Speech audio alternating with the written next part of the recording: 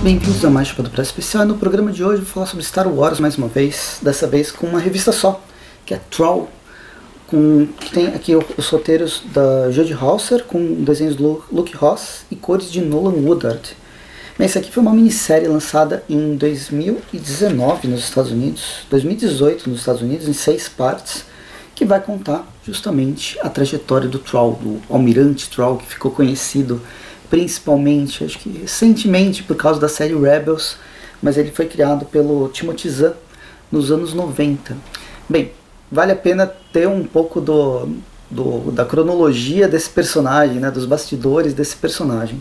O Almirante Troll ele foi criado naquela saga Herdeiros do Império, na verdade uma, uma história em três partes, em três grandes livros que o Timothy Zahn ele iniciou em 91, foi o primeiro livro foi lançado. E esse ano de 1991 para Star Wars era um ano de retomada, uma tentativa de retomada. Bem, é, tem que deixar bem claro que Star Wars, né, Guerra nas Estrelas, até então, a gente tinha apenas os três primeiros filmes entre os anos 70 e até 83, que foi o Retorno de Jedi. Depois disso, até 86, teve a primeira série lá da Marvel, até que a Marvel abandona, né, descontinua a série de Star Wars, que foi lançada pela Planeta D'Agostini, completa aqui no Brasil faz uns 3, 4 anos mais ou menos. Depois, nesse meio tempo, a franquia Star Wars não era tanto pensada como franquia. Essa ideia de franquia em séries e filmes, da forma como é vista atualmente, ela é, de certa forma, é bem recente, deve ter 10, um pouco mais, alguns anos a mais do que 10 anos. Mas em 89, 90, praticamente Star Wars ela existia com alguns filmes como Caravana da Coragem, aqueles filmes, do, os dois filmes do Ewoks, Batalha de Endor e Caravana da Coragem, que muita gente nem sabe que é Star Wars, eu mesmo fui descobrir bem depois. Teve também um especial de Natal que todo mundo quer esquecer e alguma coisinha, então uma animação dos droids. São coisas tão esparsas, jogos de Atari, Mega Drive, mas que era só para explorar um pouco mais aquele cenário sem desenvolver alguma coisa dentro dele. Basicamente, Star Wars ia ficar relegado àqueles três filmes que eram bons filmes. Só que, bem, o universo que a gente conhece como universo expandido, ele vai sendo elaborado a partir dos fãs, os fãs que quiseram, gostaram e queriam continuar que esse universo existisse. Ele começa de certa forma, efetivamente, a partir do Timothy Zahn e essa trilogia Herdeiros do Império, que depois virou quadrinhos, e aí a gente tem a Dark Horse assumindo os quadrinhos de Star Wars. E bem, os anos de 1990 e os anos 2000 foram 20 anos de expansão de universo, que para mim é o que tem de melhor de Guerra nas Estrelas, muito mais que os filmes. Eu gosto muito do universo expandido de quadrinhos. Eu já comentei para vocês em vídeos passados sobre esse tema. E é nesse momento que vai surgir o Almirante Troll. O Almirante Troll é um cara, é, é um alienígena azul de um império ou de uma civilização que fica para fora da orla da, da orla de Guerra nas Estrelas, né, da, onde o império domina, e ele acaba se transformando num dos principais generais do Império.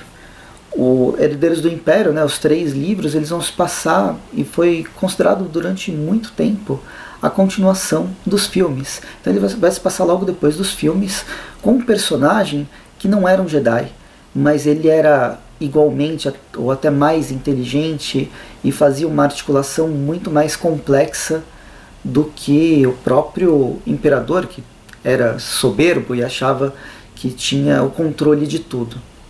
Bem, esse personagem ele tem um momento muito grande nesse, nesse início de importância.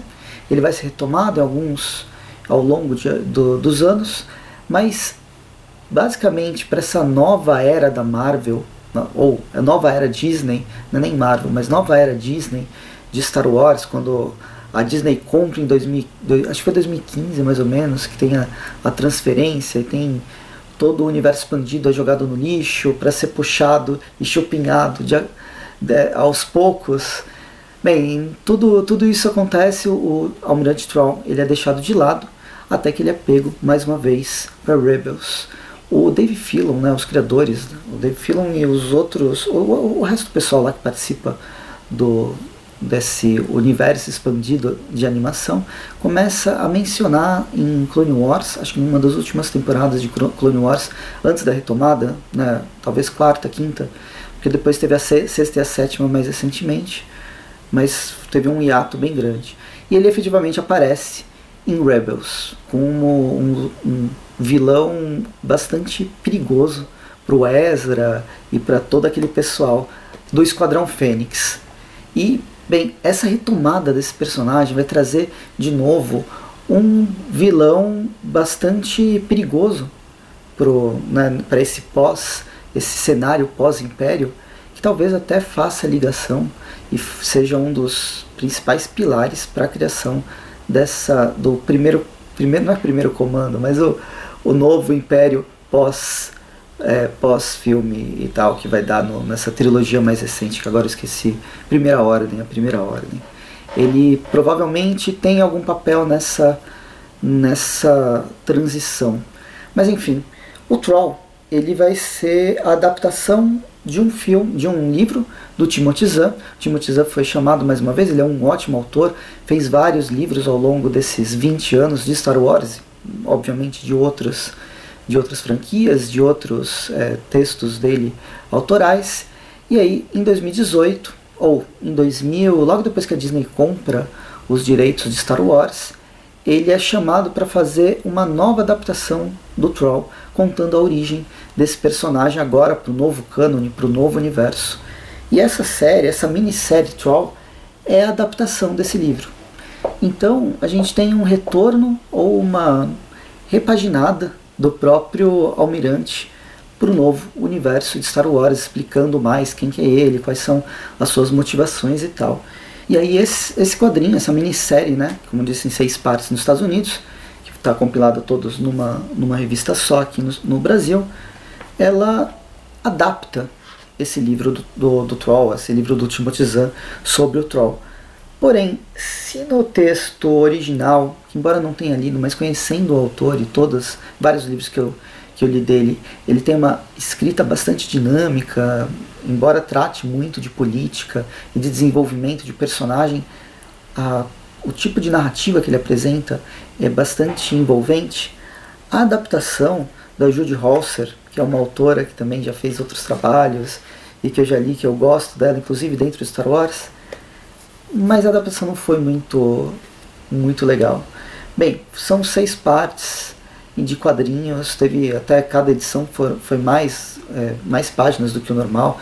No final a gente tem 140 páginas de quadrinho nessa, nessa revista, mas é uma narrativa bastante, bastante dura Assim, eu não sei se a adaptação quis, ao invés de adaptar mídias diferentes, quis transpor de forma ipsis literis né, tudo que está lá no, no, livro, quis colocar no quadrinho, que tornou uma, uma leitura bastante difícil, difícil no sentido de cansativa. Ela é muito verborrágica. Olha só, todas as páginas, ela vai ter muito, muito texto. E o problema não são nem os textos, né? ter muito texto não é necessariamente problema, mas isso tornou a, o ritmo narrativo muito lento. E existe muita redundância de informação, ou informação que talvez não seja tão necessária. Sabe, dentro de uma história em quadrinhos, principalmente uma história de ação, ou pelo menos a gente chega para Star Wars pensando que vai ser uma história de ação, o quadrinho se torna muito longo, muito verborrágico. Talvez isso aqui funcionasse se ele fosse em mais edições, vai, ao invés de seis fosse oito, e isso tivesse mais diluído, pudesse é, apresentar narrativas menos, é, menos políticas ou não apenas políticas, a gente queria ver um pouco mais de ação, um pouco mais de interação, um pouco mais da própria guerra que o próprio Troll ele está desenvolvendo né, nesses bastidores. A gente vê ele movendo várias peças em várias ações que ele participa, mas o excesso de texto, a forma até protocolar da, do roteiro, de como o roteiro é construído, vai mostrar, sim, os movimentos desse alien almejando cada vez mais poder e até a sua dedicação meio estranha de salvar inocentes, ou pelo menos é isso que parece. É, ele parece ter uma, uma motivação escondida de salvar inocentes ou evitar mortes desnecessárias. Mas o que poderia transformar nele, num, talvez até num anti-herói infiltrado dentro do Império, ou uma alternativa razoável dentro desse Império que é completamente massacrante? a falta desse respiro narrativo que eu, que eu comentei tornou a revista extremamente densa e, de certa forma, chata. Então a gente não consegue assimilar os personagens, a gente não cons consegue curtir os personagens. Parece que eu estava lendo uma enciclopédia onde tem texto, texto, texto, informação, informação, informação, o que é bom você ter informação, mas dentro de uma narrativa que se propõe ser é, um romance, um romance não no, no, tipo romântico da palavra, mas um romance no tipo é, de, de escrita, ela se transforma numa coisa, como eu disse, enciclopédica. São informações sem que a gente crie interação, ligação com os personagens que são apresentados. Em suma, eu acho que Troll, essa minissérie, faltou alma para a revista e ela talvez como uma referência enciclopédica seja interessante, mas para escolher, vai atrás do livro do Timothy Zahn, porque pelo menos eu sei que o autor, Timothy Zahn, ele é muito bom escritor e acredito que a escrita dele dentro de um livro seja muito mais interessante do que essa transposição que foi feita para o quadrinho. Enfim, vou ficando por aqui, espero que tenham gostado do vídeo, curtam o vídeo, assinem o canal, assinem o Chapéu do Press Facebook, comentem se vocês leram, se vocês têm outra visão dessa revista, gostaram mais ou não gostaram. Bem, a gente conversa nos comentários, mas me siga no Instagram, no arroba onde falo sobre filmes e séries todos os dias com resenhas novas.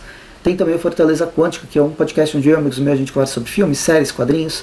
São recomendações, entrevistas, bem, episódios atemporais que vocês podem ouvir a qualquer momento. Então procura no Courage, procura no Spotify ou qualquer outro agregador de áudio. E também tem o link da Amazon. Qualquer compra no link da Amazon ajuda muito o canal. A gente se vê no próximo episódio. Até mais e bons quadrinhos.